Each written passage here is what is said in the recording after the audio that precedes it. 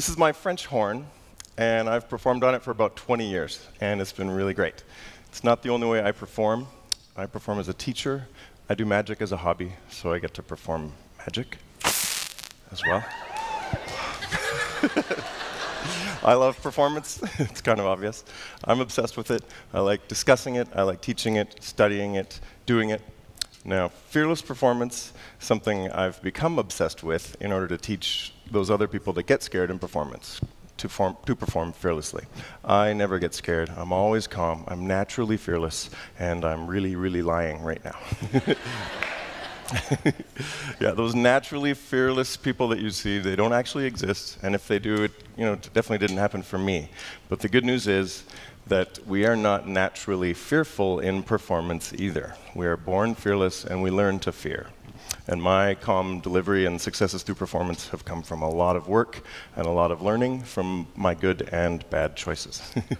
so I perform classical music all over the world, and I grew up on a pig farm. And uh, I was just made full professor here at North America's top music school at IU.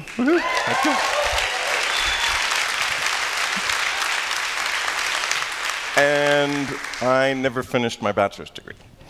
So I've had lots of potential to fear. Thank you, thank you. so I've had lots of potential to doubt myself in performance and fear, and I do. But I've also figured out how to fool people into thinking I'm a fearless performer.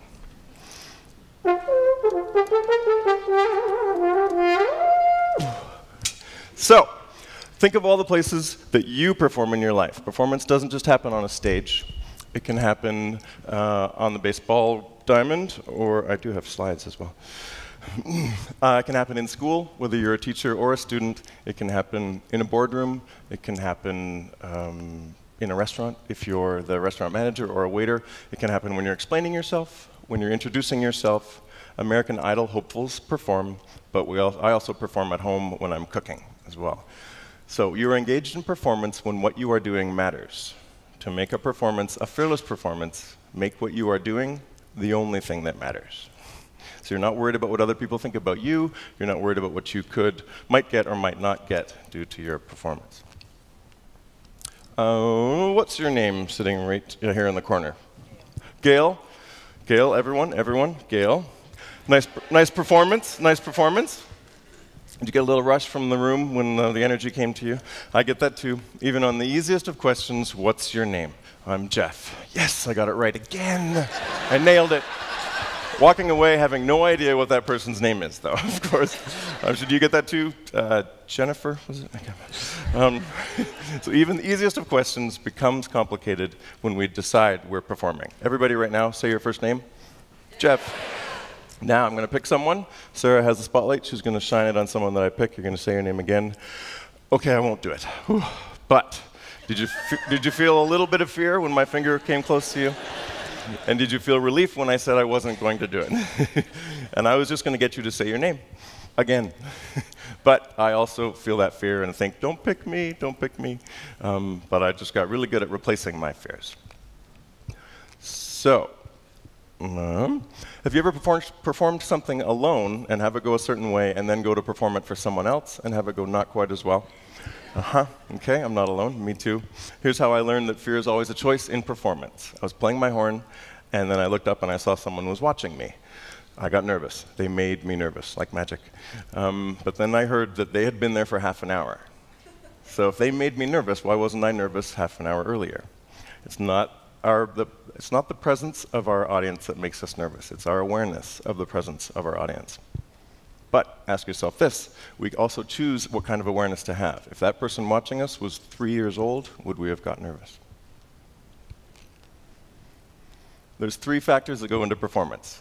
The what is what you perform, and that's uh, what you think Mozart uh, meant when he wrote what he wrote, so what you want it to sound like, uh, what you say to a stranger when you go to meet them, or um, what your product does. Very important, become obsessed with your what and really good at it. Your how is how you perform, how you play your instrument for a musician, but um, how you sell your product or how you act around a stranger. Become an expert in this as well. The why is more in the heart, and it's why we perform, why we walk out on stage, why we go up to this person to meet them, and why we have a company, and why we're selling this product. I think we obsess about what and how plenty. We can, I think, evolve our, our why a lot more. And when I do, my performances get easier and better. So I want to give you three big ideas for fearless performance. And the first is surrender. You can't control perception, you can only control presentation. You have a choice when you go out to perform. You can go out and go, okay, I'm gonna, during performance, go, okay, I'm going to talk to these people. They look uh, important, and uh, that guy's upset. I might throw in a joke. And if it's funny enough, I might get to meet Ted. He'd be great.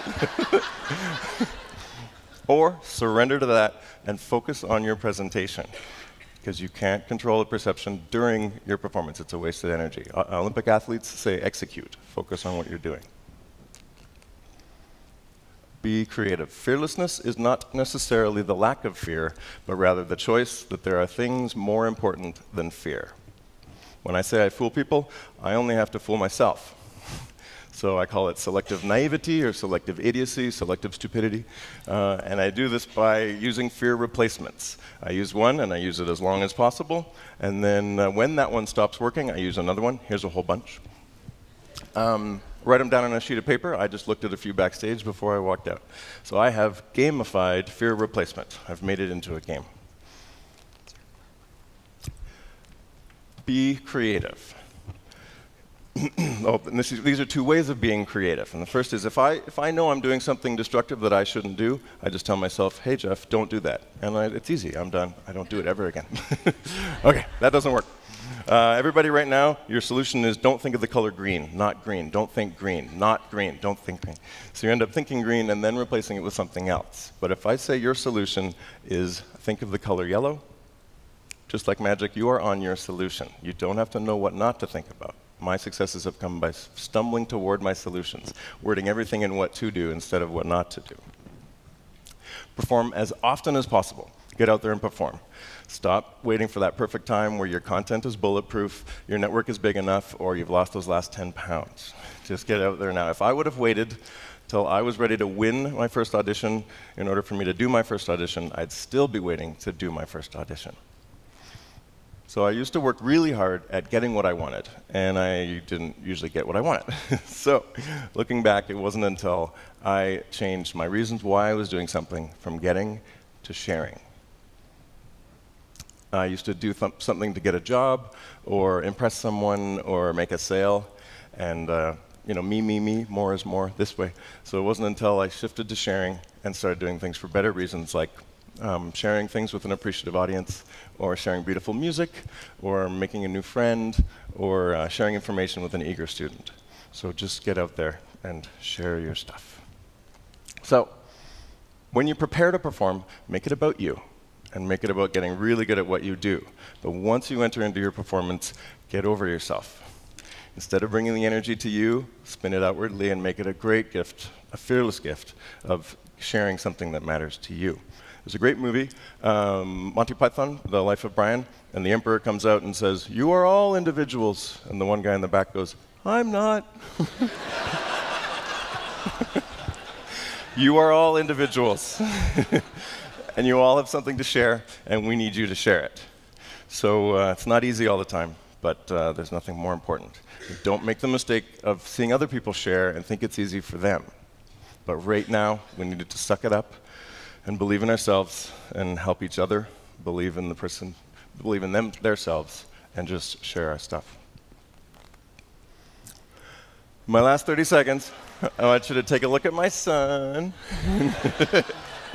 and he is, and he hasn't even done anything. He's just sitting there. Uh, he is the most fearless performer I know. and uh, he's not very good at performing many things. but do we question his worth in performance? When he does something, we see it as being full of greatness. And uh, he may not be hireable right now, but that's what, that's what tomorrow is for. He can get better. But he's a fearless performer because he doesn't doubt himself in performance. He doesn't question his own self worth. So, get to be an expert at how you do things and what you do, but let's put some more energy into why we do it and evolve why we do it so that we can all share in a, little, a lot more fearless performance in the world and do it to respect our past, do it for our future, do it for our children, do it for the child in you, and do it for no reason at all but to share. Thank you.